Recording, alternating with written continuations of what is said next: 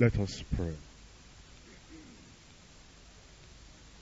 Our Father, we thank you for our coming back, for our combined Bible study. Thank you for returning us to the epistle of James. Thank you for the love and interest you have given your children. And we're here tonight so we can be taught of you. We pray, Lord, you'll teach us yourself, and great will be our blessing and peace in Jesus' name. We pray that our coming here will not be in vain. We pray that your hand will be upon our lives. You'll transform our lives and you'll mold us to the vessels of honor that you want every one of us to be. Do good in the life of everyone, O Lord, and let your word enrich the life of everyone in Jesus' name. Bless your people. Make us channels of blessings. In Jesus' name we pray. I happily welcome every one of you to our combined Bible study again in Jesus' name. For some time we have left off the epistle of James and we're coming back to the epistle of James tonight and it's such a refreshing idea as we come to this very rich and practical epistle. We're now in chapter 4 but I want to remind you of uh, James chapter 1 verse 22. James chapter 1 verse 22. But be ye doers of the word, not hearers only, deceiving your own selves. James tells us that uh, the epistle contains practical instructions. Light to lighten our way, water to wash and cleanse, and there will be fire there too to melt and mold our lives. The hammer which is a symbol for the word of God is there to break hard hearts in pieces. And of course, there is nourishment of food, spiritual food, to give us strength and spiritual healing. In fact, physical healing as well. And as we hear these words, then we're being told that we should listen, we should meditate on the word, and then apply the word to our hearts and be doers of the word. And I pray that the grace to be doers of the word the Lord will grant unto every one of us in Jesus' name. As you would remember, we have already uh, covered chapter 4, verses 1 to 10. We're now in verse 11 of chapter 4. Chapter 4, verse 11 and verse 12 is what we're looking at today. Please open your Bible as we read together. Speak not evil one of another, brethren. He that speaketh evil of his brother and judgeth his brother, speaketh evil of the law, and judges the law. But if thou judge the law, thou art not a doer of the law, but a judge. There is one lawgiver who is able to save and to destroy. Who art thou that judgest another? Those are the verses we're looking at today. And the topic of our study is the great sin of evil speaking. The epistle of James contains a practical subjects. As I've told you, in fact, it gives us the very test of the true Christian, of the genuine Christian. And from chapter 1, if you read through, it says, here is a test.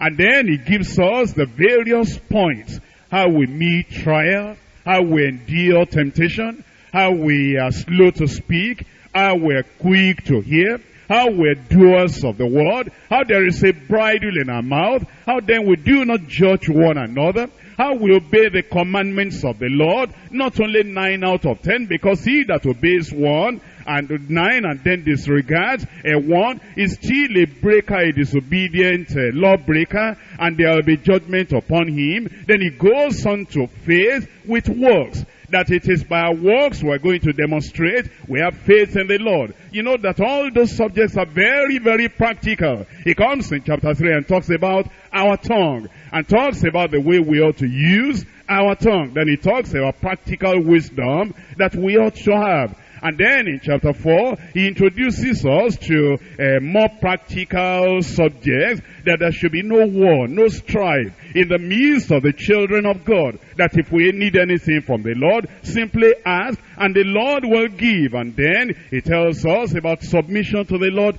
about humility because God grants more grace unto the humble. And now he comes to this at verse 11 and he talks about something very, very practical which happens to us in our day-to-day experiences. He says, speak not evil one of another. Yeah, he's telling us what is very common to the unregenerate sinners. The unregenerate sinners, as we look at the New Testament, are referred to as slanderers. They are backbiters, or they are whisperers, or they are the people that will destroy and spoil other people behind them. And you find them, whether they are young people, whether they are students, whether they're teenagers or adults, they gather in small groups and they'll be talking and speaking evil, bearing tales of other people to destroy the good names of others. But then he says, if we are born again, here is another test that will show we will not speak evil one of another.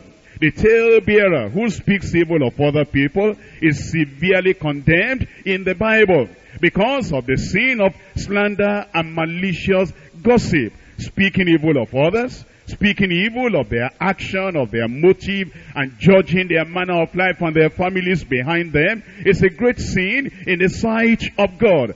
And those who indulge in such backbiting and evil speaking, they show that they do not love their neighbors as themselves. Because you don't want others to gossip about you, to backbite and to criticize you. And what you don't want others to do to you, you will not do to them. But James is telling us something. He tells us the Lord has commanded us that we should not speak evil of other people.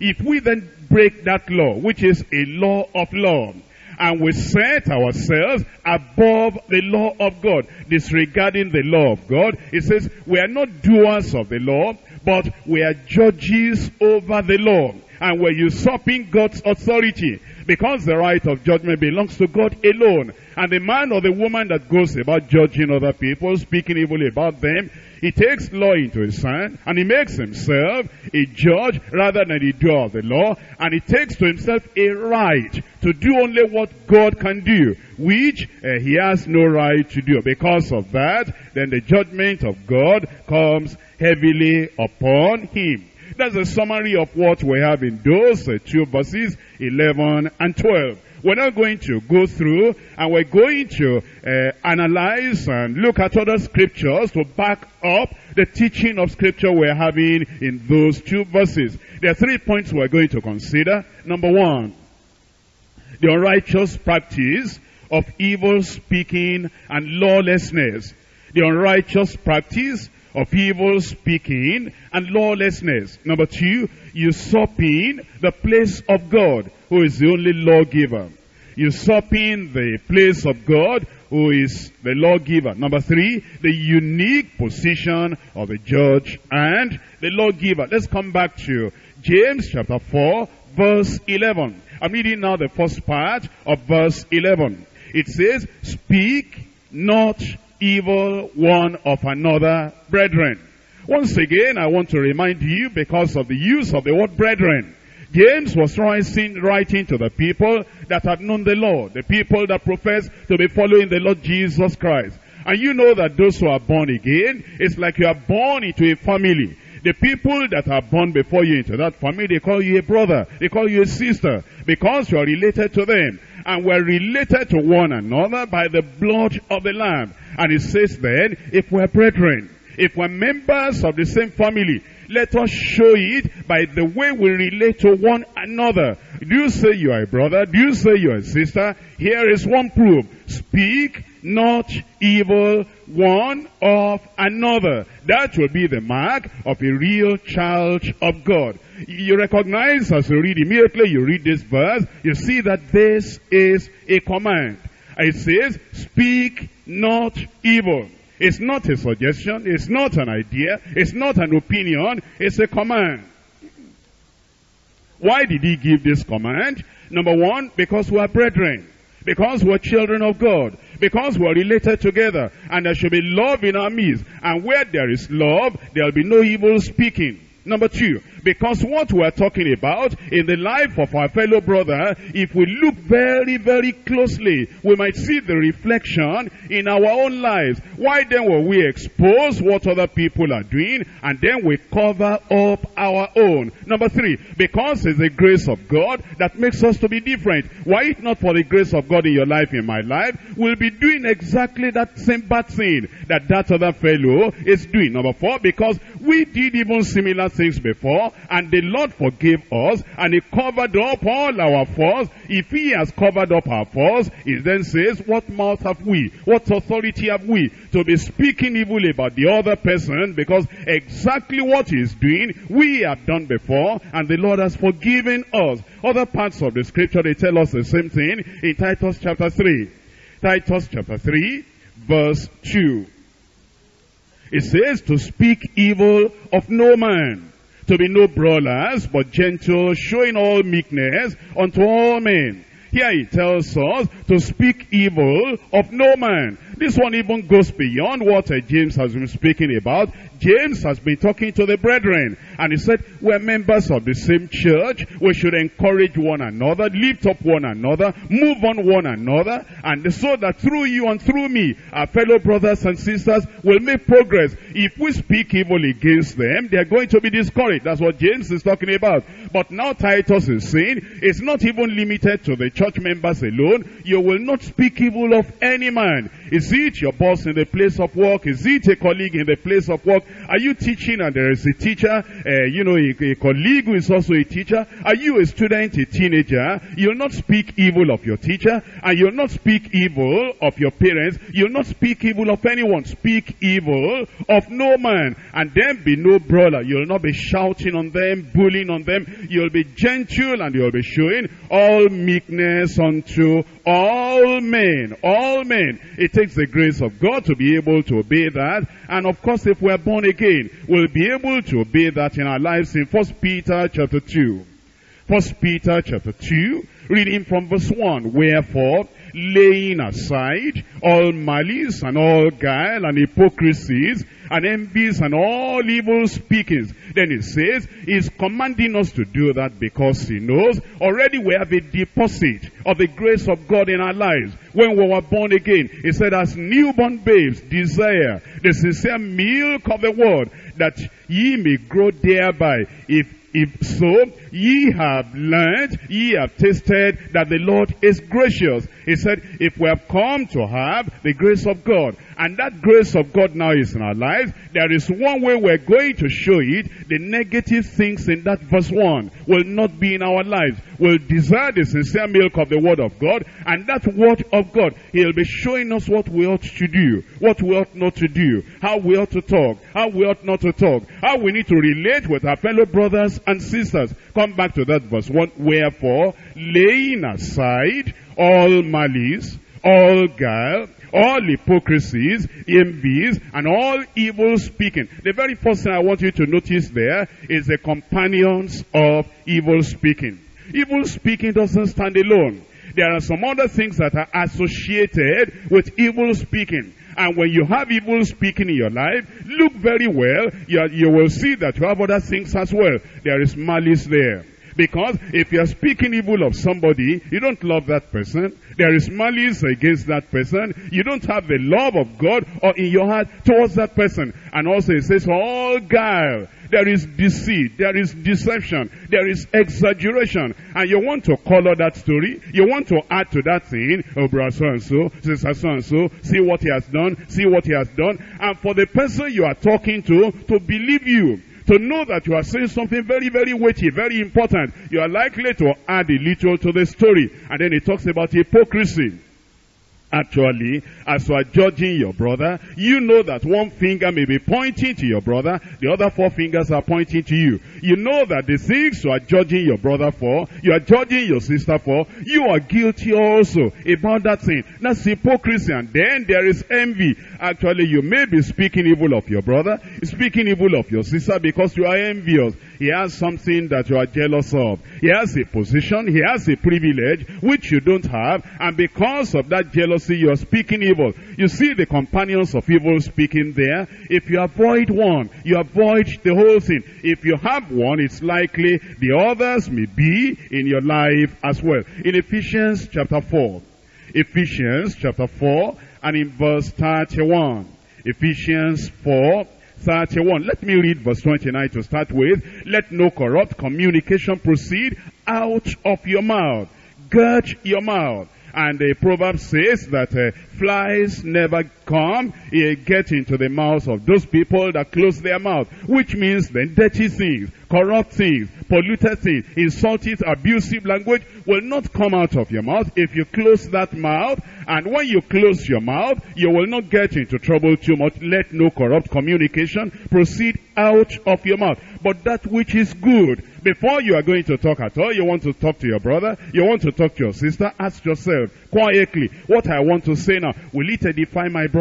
Will it edify my sister? And if the person I'm talking about, if he hears this thing I'm going to say about him behind, is he going to edify him? Will it encourage him? It says, but that which is good to the use of edifying, that it may minister grace to the hearers and grieve not the Holy Spirit of God, whereby ye are sealed unto the day of redemption. If you are born again, you have the Holy Spirit within you and is your comforter and is your companion. Of course, if you are sanctified and baptized in the Holy Ghost, you have much more of the power of the Holy Ghost and the anointing upon your life. And is listening to every conversation that you have. When you speak evil of your brother, it grieves the Spirit. Why does it grieve the Spirit? Because the Spirit of God is saying, but you were like that before you, and you were forgiven, and God had mercy on you, and the love of God has been shown unto you. How can you say that about your brother, about your sister? In verse 31, Let all bitterness and wrath and anger and clamor and evil speaking be put away from you with all malice. Again, you see the companions of evil speaking here. It talks about bitterness. You know, when you are speaking evil about somebody, it's because actually there is some bitterness in you against that person. And if we have bitterness and hatred against our fellow brother, against our fellow sister, how are we with the Lord? What's our relationship with the Lord? And wrath and anger and clamor. And you see, they are all related. You are bitter, that's inside. You, the wrath is there, that's inside. And then anger, that may be shown in your face now. And clamor, that's already shown now in the way you are shouting on that individual. And then evil speaking, backbiting, gossiping, slandering, tale bearing, going behind other people and slashing them and cutting them. And then it says, let everything be put away from you with all malice. I pray the Lord will help us. And the grace of God will sustain us so that all these things that mark out unbelievers and backsliders will not continue in our lives in Jesus' name. In Psalm 50, Psalm 50, Let's see what uh, the uh, Lord indicted some people for, what they did and he wasn't happy. And he rebuked them as the psalmist was talking about them. Psalm 50, reading from verse 19. Thou givest thy mouth to evil, and thy tongue framest deceit. Thou sittest and speakest against thy brother. Thou slanderest thine own mother's son.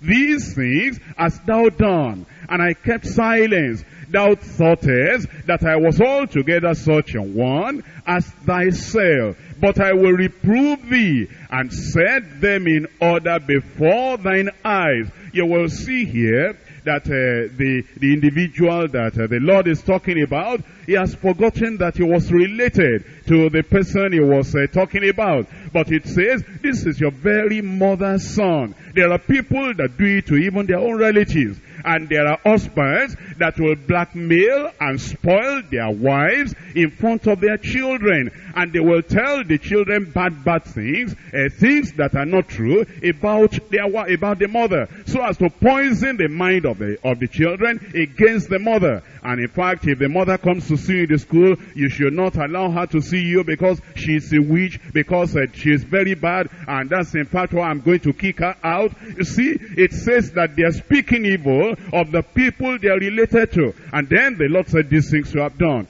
Although I've been keeping silent, and the judgment did not come immediately, you thought judgment will not come. I will reprove you and set them in order before thine eyes. In verse 22, now consider this. Ye that forget God. The word of God is telling us, while we're speaking evil of other people, we are forgetting God. You are forgetting that God is hearing. You have forgotten that God is watching, that is listening to everything that you are saying. He says, lest I tear you in pieces, and there be none to deliver. What's the attitude of a child of God? What will come out of the mouth of a child of God? Verse 23, Whoso offereth praise glorifieth me, and to him that ordereth his conversation aright will I show the salvation of God. If we want the salvation of God, if we want the goodness of God, we will order our conversation aright. You will see from what we have been learning from the Word of God that uh, one of the genuine tests of true conversion and gracious walk with the Lord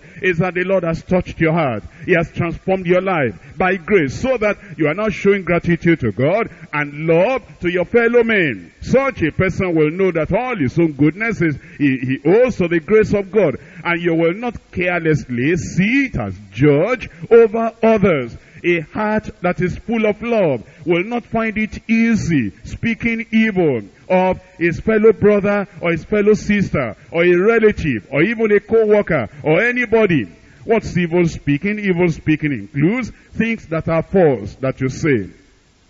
Things that are untrue that you say about other people, like lying, like slander, like tale-bearing, backbiting, gossiping, whispering, talking to condemn others in their absence. When they are there, you won't talk. Because you know that they will be able to defend themselves. They'll say, ah, my brother, you are talking like that. It's not so. Did you forget this area? Did you forget this area? But when the people are not there to defend themselves and to supply information that will clear up the whole matter, you stab them in their bags. Evil speaking then includes what is said with the intention to damage the character and the reputation of our neighbor. It's a very common sin among the high and the lowly and among uh, students in school and among uh, older people at home is a very common sin. Yet the commonness of the sin will not excuse anyone who speaks evil of his neighbor.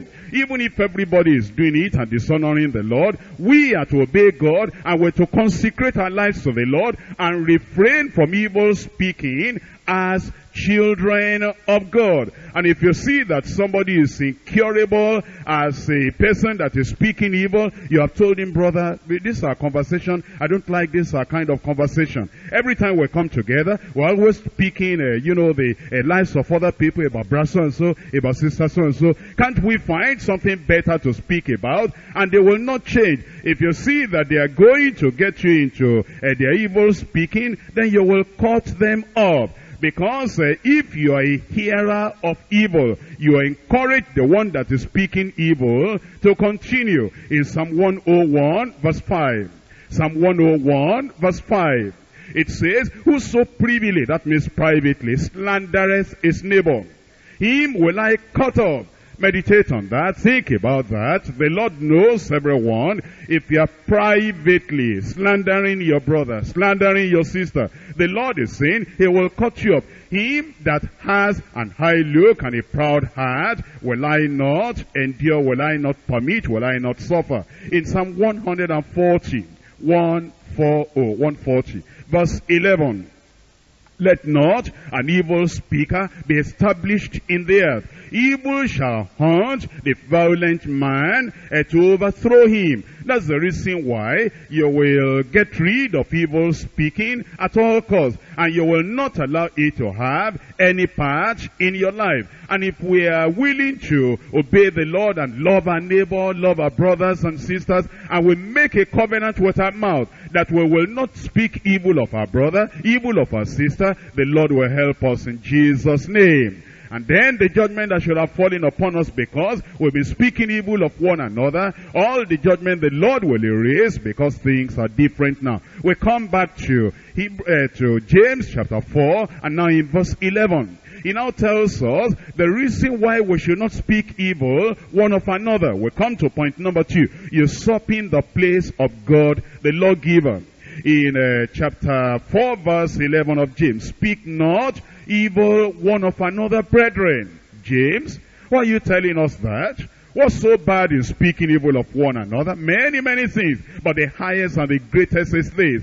He that speaketh evil of his brother judgeth his brother, and speaketh evil of the law, and judgeth the law. But if thou be a judge, if thou judge the law, thou art not a doer of the law, but a judge. Now he explains to us, he says, if we are talking carelessly and thoughtlessly, about uh, our fellow brothers and sisters. Do you realize then you are not under the law? You are not submissive to the law. You make yourself above the law. It means you have seen the commandment of God. Speak not evil one of another. You say, I'm above that. The commandment of the Lord is unnecessary. It's improper. It's inadequate. And because that commandment of the Lord that says, don't judge one another. Don't speak evil of one another because it doesn't pertain to me. Then you set another law now. You make another law for yourself. You now become a judge over the laws of God. You claim to be wiser than God. But a man's duty is not to judge the law is to obey the law. He who appoints himself, God has not appointed you to be a judge over the law he has said, but you have appointed yourself to be a judge over that law, and you take your, to yourself the right to break the law of God. You usurp God's authority. And then you stand uh, condemned before God as Lucifer was condemned before God. You know what Lucifer did? Lucifer said, I will search my throne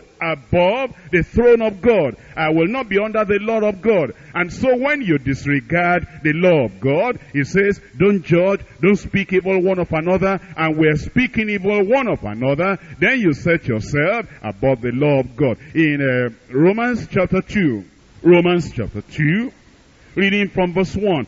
Therefore, thou art inexcusable, O man, whosoever thou art that judgest. For wherein thou judgest another, thou condemnest thyself. For thou that judgest doest the same things. You see that we are very merciful concerning ourselves. You know that even though you are born again, you may have some faults that you are still praying, oh God, I'm not smoking anymore, I'm not committing adultery anymore, I'm not doing this evil, that evil anymore, but I know that I am not what I ought to be. There is this fault, there is this imperfection in my life. Please have mercy on me, please uh, cleanse me, and please help me to improve and to march forward. While you are doing that, then you see a similar fault in the life of your brother, of your sister. And you know by the grace of God, they are children of God. And the similar faults in you, you find in them. Then you are talking. Then you are judging. Then you are accusing them. Then you are condemning them. And then you are saying things you ought not to say. It says, are you to be excused? When you know that you are doing the same thing, and you have your own problem, and then you are judging others, it ought not to be so. In uh, First Corinthians chapter 4. First Corinthians chapter 4, reading from verse 5. It says, therefore, judge nothing before the time There is no time to be going about and judging and judging. Eh, the Lord has given us the message of love and the message of reconciliation and restoration so that we'll reconcile people with God. Even Jesus said he came not into the world to judge, but he came into the world to save. And we are followers of the Lord Jesus Christ. The judgment day is still coming. Today is the day of salvation. Therefore, judge nothing before the time until the Lord come, who will both bring to light hidden things of darkness and will make manifest the counsels of the heart. And then shall every man have praise of God. And when God judges, he judges uh, with knowledge because to him everything is open. To us, we don't know much. We don't know much. You may see an outward action and you may condemn that outward action, but uh, the motive of the person may be right and his intention may be godly. And then when you see the outward action and you're only judging and judging, it's not right because you do not know all the details as God knows the detail. Refrain from judging and speaking evil one of another. Hebrews chapter 4 and in verse 13. Hebrews chapter 4 verse 13. Neither is there any creature that is not manifest in his sight, but all things are naked and open unto the eyes of him with whom we have to do. Let me show you an example. The people that thought they were right. When somebody got into trouble and then they came, instead of comforting him, instead of helping him, they were judging and judging and judging. Of course, in their judgment and speaking evil, they even mentioned the name of God. And they even brought in a, a doctrine of godliness and holiness and a lot of things. And yet, at the end of it, God said they didn't know the details in Job chapter 42. Job chapter 42, reading from verse 7. Job 42, verse 7. And it was so that after the Lord had spoken these words unto Job, the Lord said unto Eliphaz, the Temanite, My wrath is kindled against thee, and against thy true friends. For ye have not spoken of me the thing that is right, as my servant Job has. You will remember the story. They didn't know the very important thing, why Job got into trouble, why Job's children died. And they didn't know why all his crops uh, were burnt with fire. They didn't know why he lost all his cattle. They didn't know why he had the sickness and the boil over his body. And then they came to him. They looked at his condition. And Job was saying, I don't understand this. I know I'm a child of God. I know I'm righteous. In fact, I know that I am perfect. And then they began to condemn him. They said, you are not perfect. There must be a secret sin in your life. If there were no secret sin in your life, as this ever happened to a righteous man before, they said, check up in the history of humanity. This never happens to a real child of God. We know now that it was Satan that went to God and contested and said that Job was righteous, but it was for a reason. And then God gave him permission. They didn't know that. That's the reason we're saying we shouldn't judge one another. You may see something, your brother is sick, your brother has lost his job, his sister is having family problem. Then we jump into conclusion, yes, we knew she's not living right. It serves him well. It serves her right. And that's because uh, her life is not correct. How do you know her life is not correct? That's what the friends of a Job here did, and God now condemned them and told them they didn't speak right concerning him. Look at verse 8. Therefore, take unto you now seven bullocks and seven rams, and go to my servant Job. You, you see in verse 7, my servant Job. In verse 8, my servant Job. At the end of verse 8, the last line, my servant Job.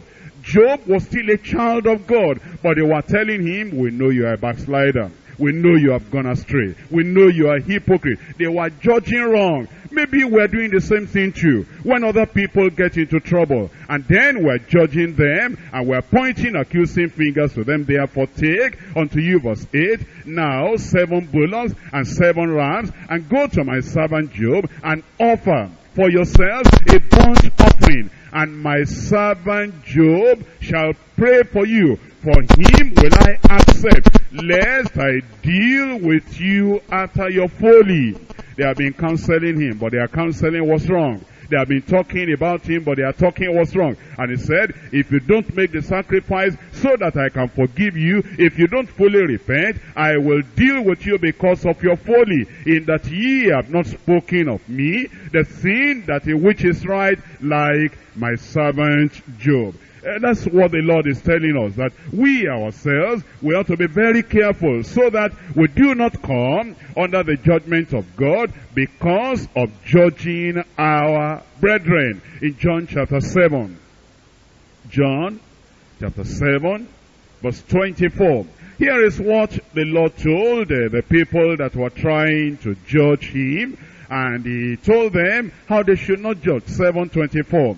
Judge not according to the appearance. In fact, uh, the, the, the way to do it is that if you see something, keep quiet, watch, think, meditate about the whole thing. If you think that that thing concerns you and you need to do something about it, investigate it first and look for the, the data that will give you proper information. Talk to the person first without making any accusation. Don't just go by the appearance of what you see. I think it is wrong. And then you just jump into conclusion immediately. Judge not according to appearance, but judge righteous judgment. Let Christ be with you. Let the Spirit of God guide you. Let the Word of God guide you. Let the truth of God guide you before you can judge righteous judgment. And in fact, uh, there are times that even when things are wrong, you don't have any right to be speaking evil and to be judging. In uh, Isaiah chapter 42 verse 8.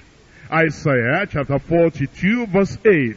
I am the Lord that is my name, and my glory will I not give to another, neither my praise to graven images. God is the final judge. And you will not take the place of God. You will not usurp the place of God. You will give all judgment into the hand of the Lord. That's what we're told in Romans chapter 14. Romans chapter 14, there in verse 4 and in verse 10. Romans 14, verse 4 and verse 10. Who art thou that judgest another man's servant? Is referring to a child of God, a brother, a sister. He belongs to the Lord. And if there is anything to correct, anything to judge, she is a servant of the Lord. He is a servant of the Lord. Who are you, by the way, that judges another man's servant?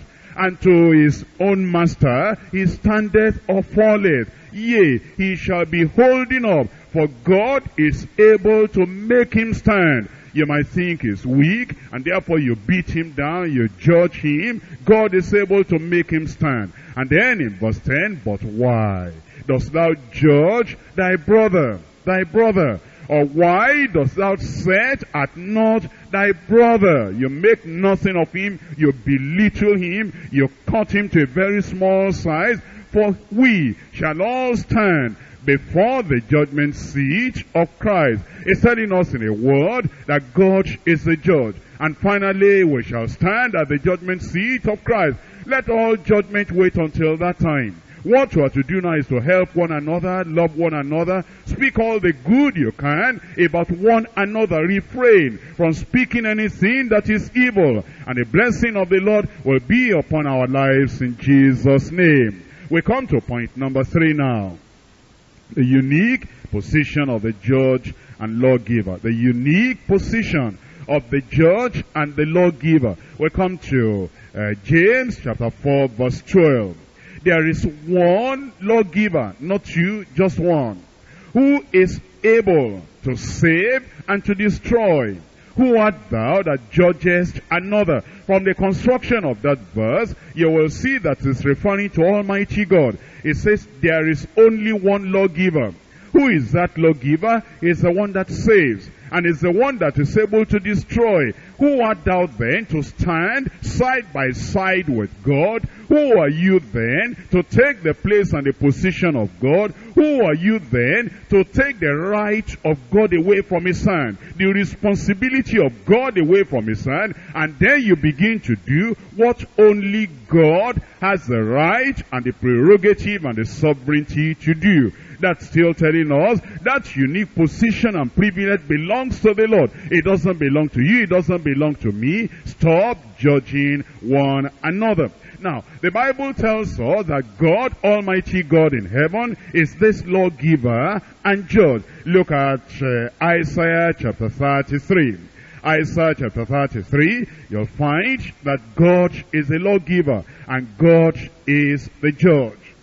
Isaiah chapter 33 verse 22. For the Lord is our judge. The Lord is our lawgiver. The Lord is our king. He will save us. That's exactly what James has been telling us. He's saying, only the Lord is the judge. Only the Lord is the lawgiver. And therefore, and He is the king. And He is the one that's able to save, and He will save us. God occupies then a unique and sovereign position above all created beings. He is the only one who has the right to make laws and is the final judge. Only his laws are binding upon his children. And that means then you will not, you know, sometimes when we judge people, we set our own laws apart from the law of God to judge them. And by the law we have set for them, which God has not set, then we begin to judge them. But the laws of God are complete. When you set other laws by which you are judging your fellow brother, you are judging your fellow sister, it means you are saying God's law is not sufficient. God's standard is not sufficient. Therefore, you have to raise up another one so that uh, you'll be judging them by it. That's not right. If we're children of God, if we be doing that, we ought to stop that, repent of it, and really follow the way of the Lord. In Psalm 96, verse 13. Psalm 96, verse 13. It's been talking about, uh, about something from verse 12, and it says in verse 12, at the latter part, rejoice before the Lord. But now it goes on in verse 13, for he cometh, talking about the Lord, he, for he cometh to judge the earth. He shall judge the world with righteousness, and the people with his truth. We do not have all the truth to be able to judge our fellow brother. We do not know everything that we can use as a yardstick to judge our fellow sister. That's why we know that he will come, he will judge. He will put everything right in the proper perspective. Therefore, you will not take laws into your hand to be speaking evil and condemning and criticizing and gossiping and talking behind your uh, brothers, your sisters back uh, to criticize them. You will know that judgment is in the hand of the Lord. In Second Corinthians chapter 5. 2 Corinthians chapter 5 verse 10 and verse 11. For we must all appear before the judgment seat of Christ that everyone may receive the things done in his body according to that he has done, whether it be good or bad. Knowing therefore the terror of the Lord we persuade men. We know the terror of the Lord that when he comes, he will judge the people that have been critical the people that have been gossiping, the people that have been destroying their brothers and sisters and their neighbors behind them. Because we know that terror of the Lord, we, that's why we persuade men that we should desist and get away from all things so that by the grace of God, our lives will be what it ought to be. It says, but we are manifest unto God. And I trust also that we are made manifest in your conscience, in your consciences. And then in um, Romans chapter 16, telling us that we're not wise enough to judge. Only God is the all-wise. Is the one that cannot make mistake in judging. We can easily make mistake when we judge other people, when we criticize and condemn other people. That's why because we know we're human beings, because we know we can make mistakes, we leave all judgment in the hands of the Lord. in uh, Romans chapter 16 verse 27, to God only wise be glory through Jesus Christ forever. Amen. And so we leave that judgment in the hands of the Lord. Let's come back to James now and uh, see what James has been telling us and uh, ask grace from the Lord. That what the Lord has uh, already commanded us in His Word, by His grace, will be able to do. And the Lord Himself, He will help us so that we'll get away from the condemnation that will come upon the people that are judging their neighbors. Verse 11, James chapter 4. Speak not evil one of another. Now we have heard the word of God and it will take decision from us. It will take something from us to say, yes, I know that uh, I should not speak evil. It's been my habit. It's been a part of my life. I'm going to take a decision tonight. I will not do that again. And then it says, He that speaketh evil of his brother and judges his brother speaketh evil of the law and judges the law. Uh, but if thou be, be judge of the law, thou art not a doer of the law, but a judge. There is one lawgiver who is able to save and uh, to destroy. Who art thou that judgest another? I read a story of a woman who had uh, told an untrue story about uh, somebody. And uh, that uh, story, untrue story, gossiping, backbiting, evil speaking, she told it to somebody. And that person told it to the other fellow. Eventually, in that uh, little town, everybody heard about it. Eventually, the person that started that rumor, the person that started that story, uh, he uh, felt uh, guilty and then wanted to do something about it. He went to a wise man, aged man in that community and said, uh, please sir, uh, I've discovered that I said something wrong. And now I want to correct it. The whole time is now carrying it about, and I know it's not correct. What am I going to do? And the wise man said, uh, go and take a chicken. It's not sacrifice, It's not idolatry. Go and take a chicken and then kill it and then pick all the feathers. As you are coming from the market, you'll be putting the feathers on the road until you get home. And the woman was surprised. What does that have to do with what I've told you? And then he, she did that. And then that day she went to the man and said, I've done what you have told me to do. And then the man said, go back now and collect all the feathers from where you put them. And the woman went back, and then in trying to collect all the feathers, they had been blown away by the wind. She was only able to get about uh, two or three.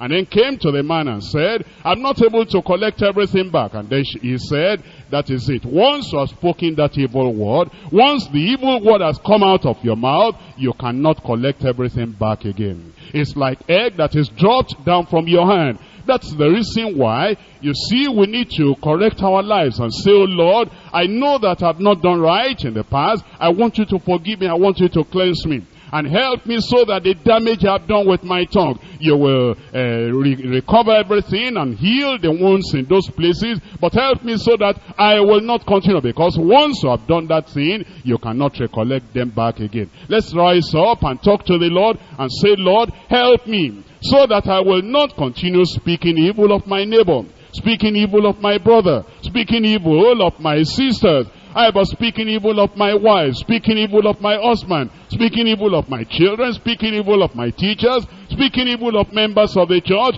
speaking evil of our leaders, speaking evil of people. Lord, help me. It's a common uh, fault, it's a common sin with many, many people. But you will tell the Lord that the Lord will help you, that the Lord will help you, so that you will not continue this bad habit, sinful habit, that if we don't repent, if we don't stop, it will bring the judgment of God upon our lives. Speak not evil of one another, my brethren.